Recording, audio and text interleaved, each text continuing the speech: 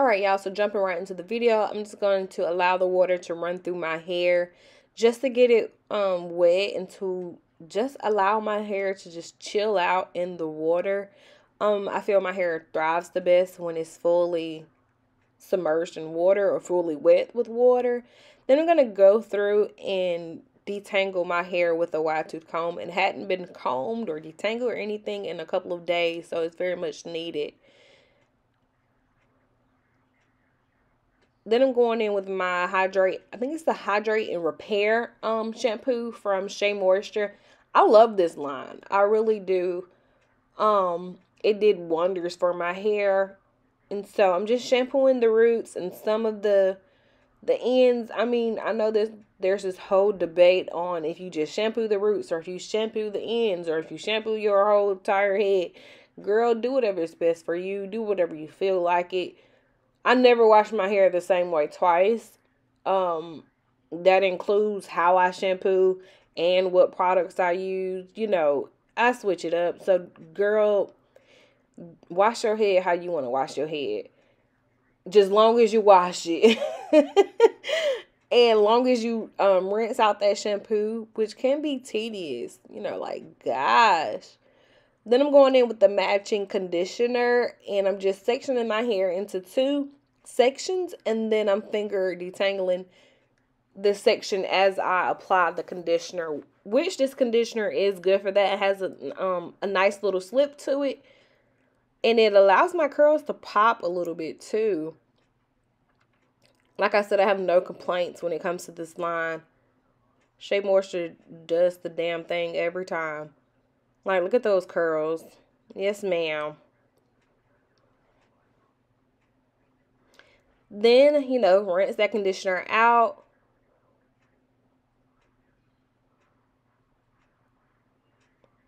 Have a whole concert while you at it. Why not? Come through, curls. Yes. Now, this deep conditioner, y'all, run and get it. Run to your nearest drugstore, run to Walmart, run to the hair store. Run and get this conditioner. It's the Manuka Honey conditioner, if I'm not mistaken. I would definitely have it linked down in the description box below. If you get anything from this video, get that deep conditioner. It is the best. It does wonders for my curls. But I'm just going to apply the deep conditioner to each section. Um, kind of furthermore detangle or finger detangle while I'm applying the deep conditioner. Y'all, it makes my curls, my hair so soft and my curls pop. It's the best. Like, look at it. I love it. I love it. I'm addicted. I am, I must admit. And then after I apply the deep conditioner, I'm just going to apply um, some shower caps and take a shower. Let that sit and penetrate, and that's it. All right. So I rinsed out the deep conditioner, and I just put on this um microfiber 2B twist, Turbie twist. You can get it from Walmart. You can get it from the drugstore or whatever. And this is what my curls look right after I take it down. Y'all, look at how my curls look in their natural state. Like, really, this is their natural state. There's no need for quotation marks. But, like, and then I don't know when I think my hair has grown, like, so much. Girl. I section this off first.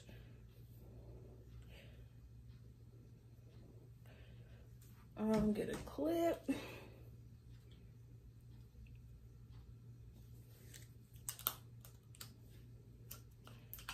Okay, and then split the back in half.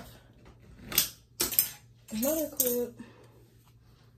Actually, I like to start on this side, so let's clip this off.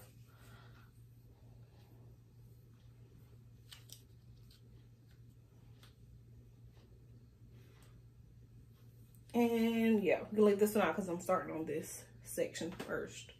Like, come through curls. Like, I'm so impressed. So to get started, I'm going to use, oh, uh, spray bottle as well.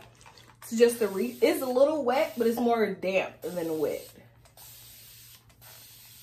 Just spray that all on the section.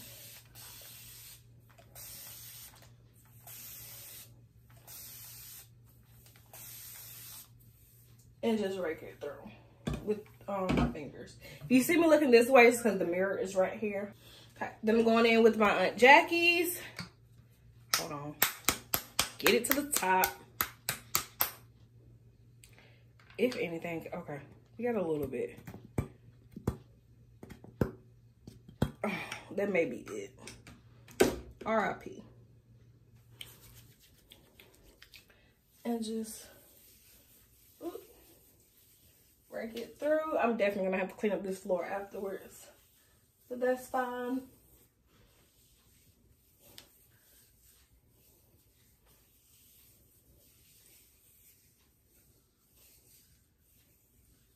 You want to make sure you get each strand. I don't officially separate my sections um when I'm applying product just because don't nobody got time for that.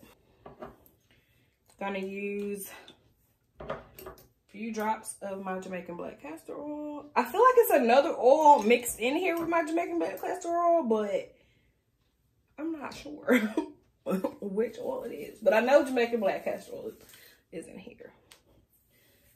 And I'm just gonna rake that through and praying hands smooth it in. Yeah, okay.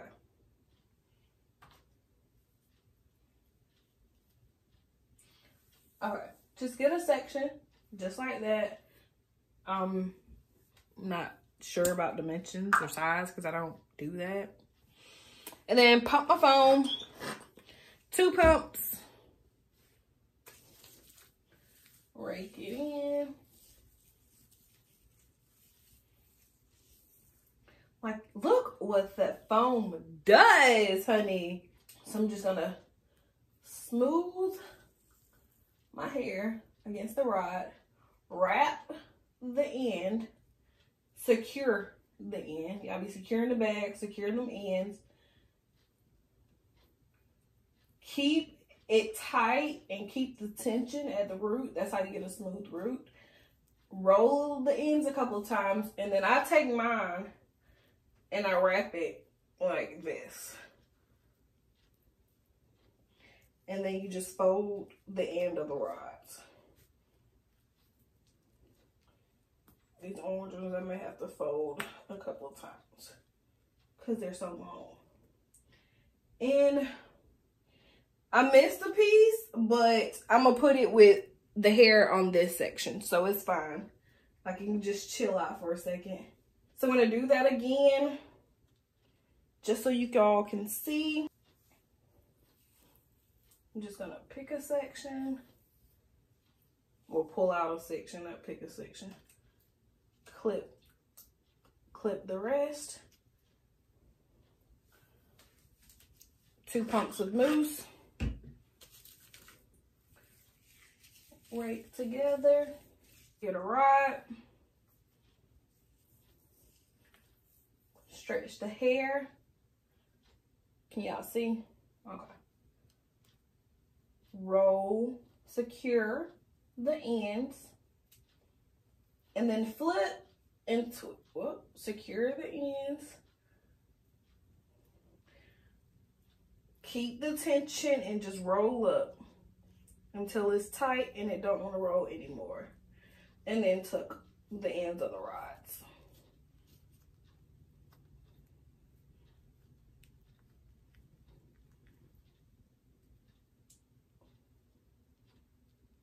Like so. And I'm just split this section in half. And repeat the process, two pumps of mousse.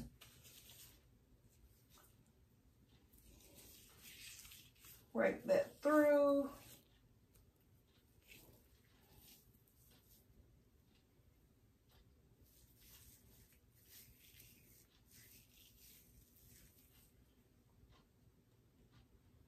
Get a.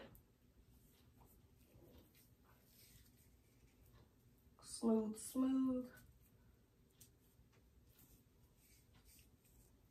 You have to comb your hair or finger comb because, you know, I don't really do the whole that's another video, but I'm kind of straying away from combs. Sometimes, like, if you've seen in the video or earlier in the video, I did use a comb to detangle my hair.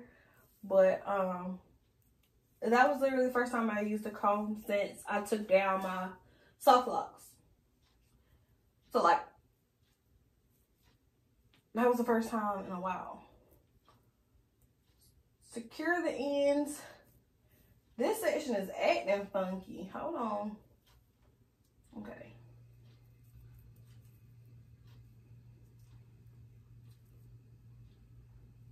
Secure the ends. Secure the ends. And then diagonal twist. Y'all, I'm really hoping this turns out right. And if you're seeing this video, then it means it turned out right or I'm just super brave one. now I'm gonna repeat the process on this side and then when I get to the front, I'll come back and show you what's up with that. All right? Okay. Like I said, this is what we got so far. Now this section is like, it's less than damp. Like it's still a little wet, but not really. but look, the curls still pop though. Ooh, and the way that the blonde, okay, but I'm not gonna dye my hair again. I really want to though. I really want to try like ginger like a burgundy or something, but no. Definitely have to take a break from the color because, whoo, Jesus. Like if you didn't know, coloring your hair, specifically bleaching, baby, that can mess your hair up so bad. So I did have enough Aunt Jackie's. Apparently, turning the bottle upside down helps. Remember that. that's a life lesson. And just smooth and rake that through the whole section. Oil. prayer hands.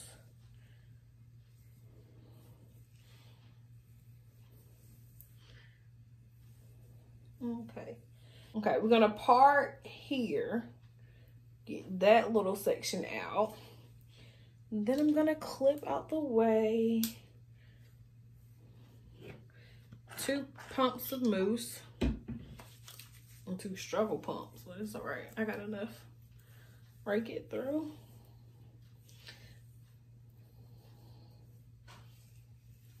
All right. Tension, pull, smooth.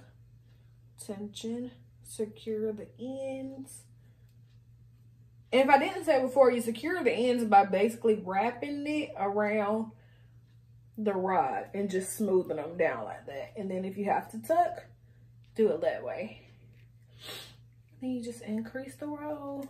Remember to keep it tight nice and tight because nobody likes anything loose, ladies.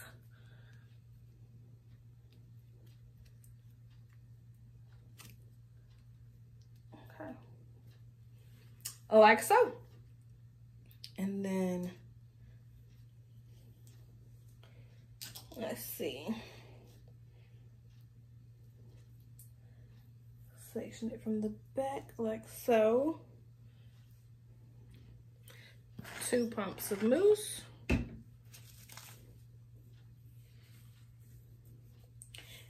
if I can, um, all products will be listed down in the description box.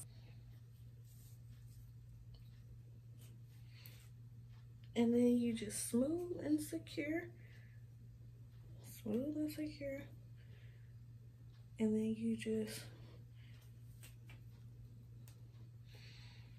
wrap it down.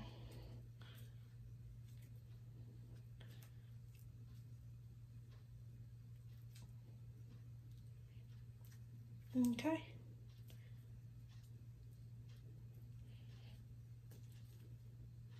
All now for the last little bit, two pumps. Oh, this is not, that one's gonna have to be redone because it's not tight to my root. Okay, smooth and rake. Smooth and rake. You want it as close to the eye, not you. I want mine as close to that part as possible because I want it to be like a fro look and not a separated look. Even though I'm gonna have to, it kind of, in my experience, I learned to have that fro look in no part. It's all in how you lay your rods, whatever rods you're using, whether it's flexi rods or perm rods or whatever. It's where you lay it at and how you place it and also in the fluffing and separating process as well. So secure them ends and then wrap wrap wrap wrap wrap wrap it on up wait end came loose secure it and then fold fold all in. Yep, there we go. Okay, so let me fix this one.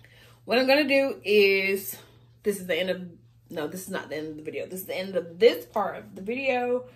But I'm just gonna sit around, watch Netflix, and wait for this to dry just a little bit before I put on my bonnet and go to bed. But it's still early, like it's nine o'clock yeah, it's just nine o'clock at night. So I'm gonna watch some Netflix, let this dry down a little bit, and then go to bed. And I will see you all in the morning for the takedown. All right, guys, so it's the next morning, and this is what I got. Um, this is much makeup I'm wearing today. I know y'all probably expect me to come with a full beat, but it's too early. I'm running late. Nobody has time for that. So just lashes and lip gloss. So let me, I realized last night why I don't prefer flexi rods over perm rods. And it's because sometimes I feel like it takes my flexi rods just a little bit longer to dry. And I'm guessing, well, technically they've been done. I got finished around eight or nine something last night. So and it's almost 10 this morning. It's 9.45 now. So they've had almost, if not 12 hours to dry. So I'm trying to just feel to make sure they're dry. But let's begin the takedown process. So all you do is you get your rod, you unfold one end, get the other end, and unfold it, stretch it out, and then you untwist.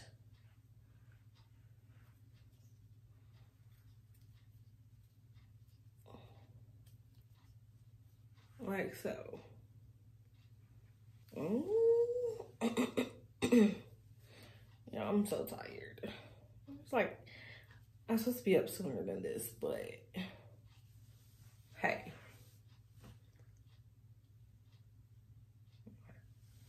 And also, I feel like flexi rod sets don't last as long as my perm rod sets either. I'm not quite sure why.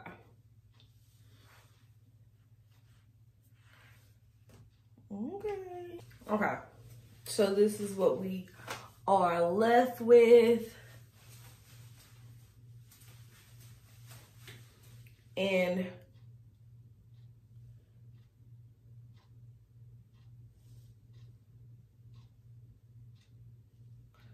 There are some that's still just like a tad bit damp and I feel like if I unravel it, it's not gonna look like I want to. So I'm gonna take my blow dryer. Um, disclaimer, this is not a Dyson. This is not the real Dyson. This is the dupe that I found on Amazon for like, I'm pretty sure it was over half the price of the real Dyson. For as I know, it does the same thing. It comes with the same attachments that the Dyson comes with. Um, the only name, the only difference that I can tell, because I've never owned a Dyson, I probably never will own a real Dyson, um, is just the name. This isn't a Dyson. This actually doesn't have the brand name on it, actually. But I will have it linked down in the description box below. But, um, yeah, I'm just going to do this on cool air.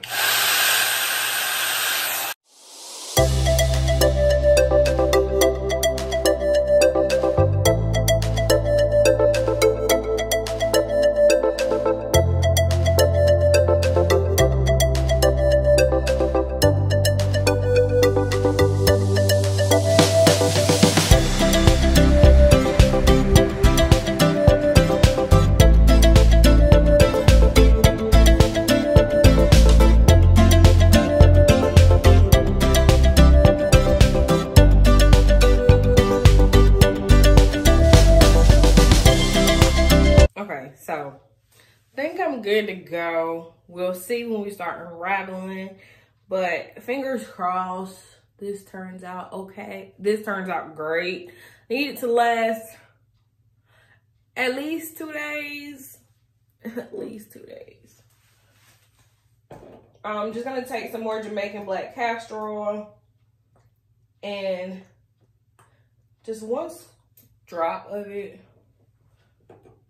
to help with um, the separating and fluffing because it's already moisturized and already have some oil on it from last night when we put the rods in. So just gonna start in the back and just run my fingers through it like that. And then just separate where it naturally separates that. And then go ahead and separate each section as much as it'll separate, if that makes sense. You know, like I didn't stop at when I separated that first time. I just kept going. And if you have to, just wrap it around a little bit to help the curl. That's fine. This again. Where it naturally separates. Separate that section. Separate that. Okay.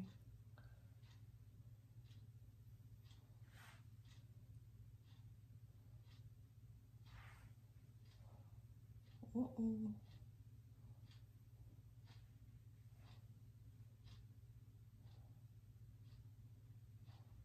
That one's still damp a little bit at the ends.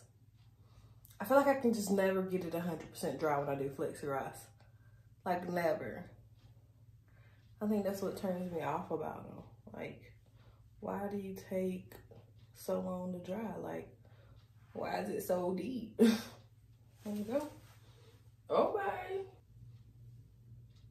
Okay. So this is where we're at right now. a little small. So I need my wide tooth comb and we're gonna fluff. Just pick a section and I just tease or comb the roots. You don't want to drag it out to the ends because that's how you mess up your curls. It's just the roots.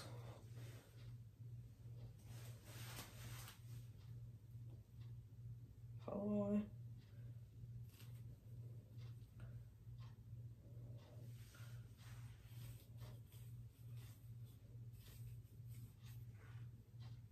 You can do this with heat as well. I just prefer not to.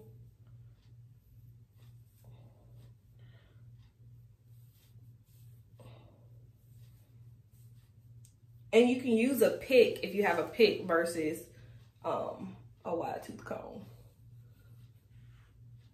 I just haven't used a pick in ages. I think I prefer my wide tooth comb.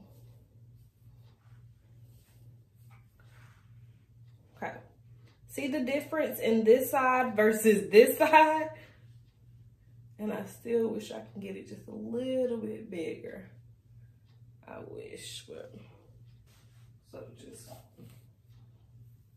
pick up top, underneath, bring them sections together. And then we'll close as much of this as we can as well. When doing this, you can also section your hair off if it works better for you, but I don't want to disturb the curls. So I rather just go freely, freestyle it. For the most part, I think it looks decent. Um, just put the rest of this oil on here. Do a little shake. A good shake is a must. All right, so this is the final look. Let's do a 360 spin. All right, let me know what you guys think down in the comment box below. Also, leave your video suggestions down in the comment box below. Remember, every product used will be linked or at least put in the um the description box below. If you have any comments, I said leave them in the comment box below. Don't forget to give this video a like and definitely subscribe. And I'll see you guys in my next video. Bye.